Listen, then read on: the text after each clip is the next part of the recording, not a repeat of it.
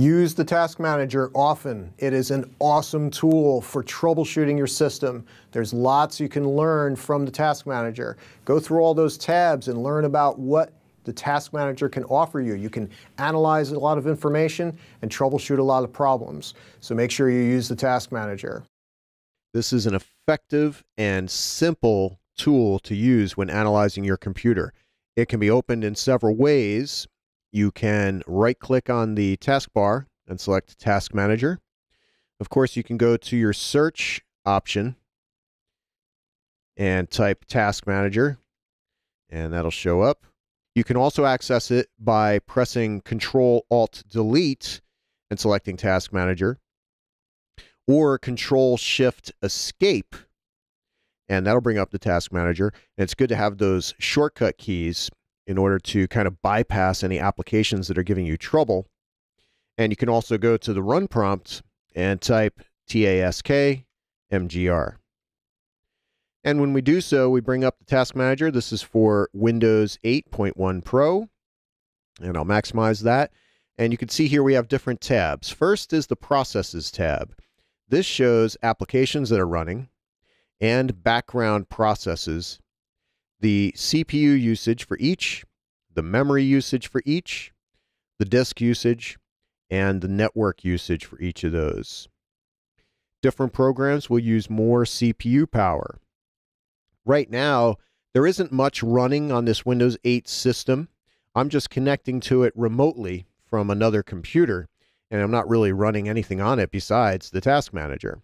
And you can see it's only using 0.1% of the CPU. That's it. So that's the processes tab. You can see all the various background processes and applications that are running. I have Microsoft Management Consoles running as well. And if I close those, for example, the embedded lockdown manager, if I close those, those will be removed from the apps section.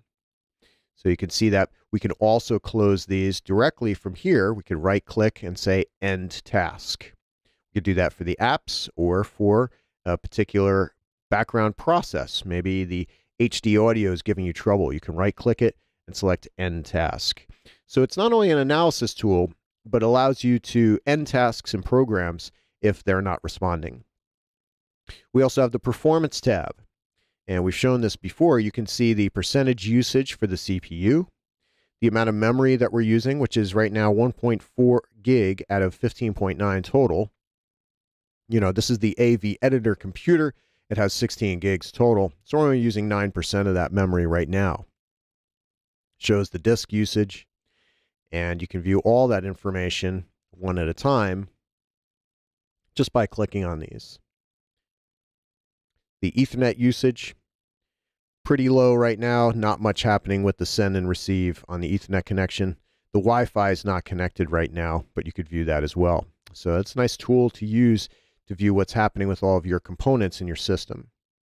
You also have the application history, which will show what your applications have used as far as CPU time and network uh, connection bandwidth as well.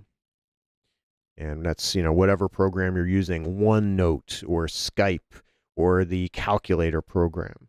Then we have the startup tab, and we've shown this before. Previously, you would have the applications that are configured to start up automatically on the system. Previously, this would be shown in MS Config. Now, in Windows 8. Point, uh, Windows 8 or Windows 8.1 or higher, it's shown in the Task Manager. And from here, you can right-click these and disable or enable them as you wish. Now, if you were to disable one of these, you would have to restart the system, and then that program would not work anymore. It would be disabled. But it doesn't actually turn them off uh, right away. If you wanted to stop that program, you'd have to do that from the Processes tab. We also have the Users tab, which shows by the user what percentage of uh, CPU and memory and everything is being used. And you never know, you might have other users connecting remotely, or you might have uh, different users working with the system. So there's a variety of possibilities with that. So you can check which users are using the most CPU power. And it's also good to check if uh, a malicious person is trying to utilize your system for other means.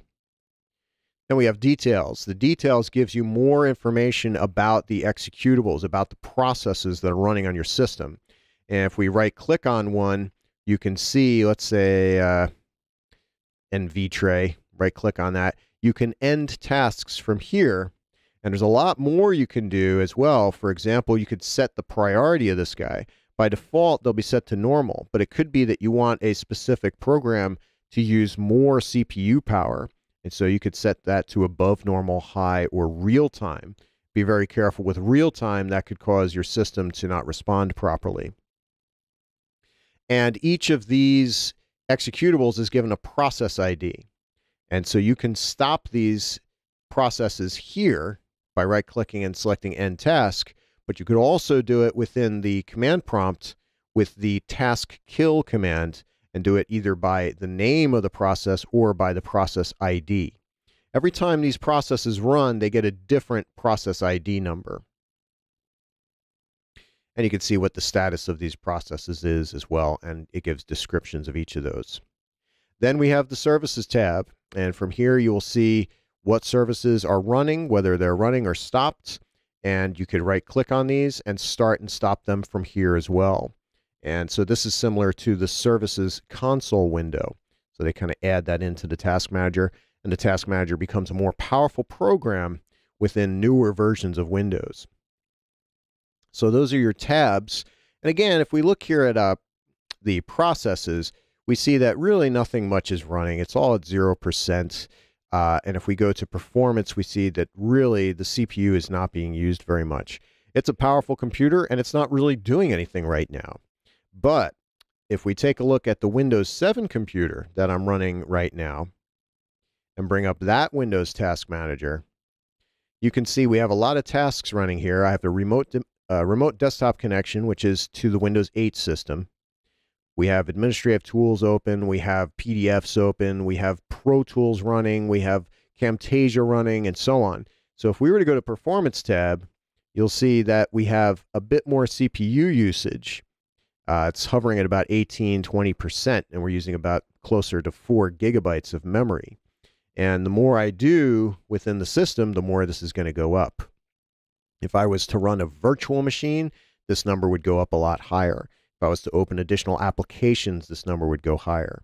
And you can see it's spiking at about 33%. And we can look at the processes from here and see what's running, how much memory they're using. And you can sort these by column header, by the way, in any version of Windows. And you can see here, Pro Tools, oh wow, it's using 264 megabytes of RAM. The Acrobat Reader, which has a giant PDF open, is running 165 megabytes of RAM. The Camtasia recorder is using 100 megabytes of RAM. So you can see all that here. And you can go to applications, see what's running. Again, performance, and you can look at this in different viewpoints by double clicking it. Uh, you can see the services that are running. So it's fairly similar, but you'll notice a couple differences. Uh, here, applications is first, but in Windows 8 and higher, you have processes, which is first. Processes is listed second in Windows 7 and in Windows Vista. Also, in Windows 7 and Vista, you don't have application history, and you don't have startup, and you don't have details. So, a little bit, of, a couple differences there, but for the most part, the task manager is essentially the same. And this processes tab, I use this a lot, whether in the Windows 7 task manager or Windows 8 and it's really good to see what the processes are using and being able to shut those down. And again, also the performance tab gives you a nice view of what's happening on your system. This looks a little different in Windows 7 as well. In Windows 8, you can select each uh, object within the system. In Windows 7 and Vista, it kind of gives you all the information in one uh, one page but it doesn't get into much about the disks or the Ethernet connection. You'd have to find that information somewhere else here in Windows 7, perhaps by using a resource monitor. So different versions of the task manager, but most of it works pretty much the same way. So you want to know how to open a task manager, what the different tabs are in both Windows 7 and in uh, Windows 8 and by the way, one I didn't mention was the networking tab in Windows 7. That is separate. You don't need a networking tab in Windows 8 because you have the Ethernet connection and Wi Fi connections right here on the Performance tab. But you want to know what each of those tabs are. You want to know how to open the program. You want to know how to end processes, end tasks. You want to know how to end services or disable services or start and stop services. And you can go to Startup and enable or disable uh, programs from here by right clicking them and go to the Service tab and start and stop services from there. So different options here. You want to know how to do all these different things within the Task Manager. So take a look at Task Manager on your system and uh, take a look at what the system is using. And it can give you a good idea of how your applications fare and how your system fares with those applications. So that's about it for this sub lesson. That's the Task Manager. Check it out on your systems.